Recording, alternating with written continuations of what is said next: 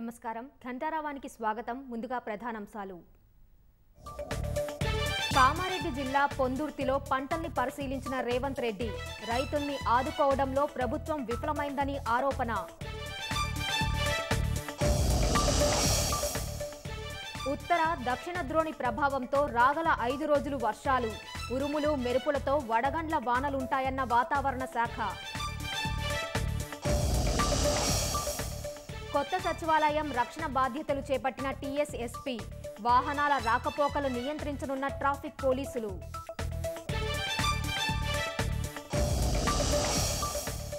ఓ యువతితో ప్రేమాయణం మరో యువతితో పెళ్ళి ప్రియురాలు ఫిర్యాదుతో మండపంలోనే వరుడు అరెస్ట్.